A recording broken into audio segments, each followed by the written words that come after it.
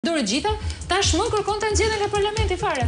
Shiko, lajmi i fundit nga Beogradi është që Vuçiqi do shkojë në zgjedhje të parakohshme. Megjithatë, pa ashtu si e shofun pak deri tani nuk shoh ndonjë arsye që pse Rama duhet të shkojë në zgjedhje të parakohshme. S'është i lirë Rama, po i ka thënë Lekshi do shkojë.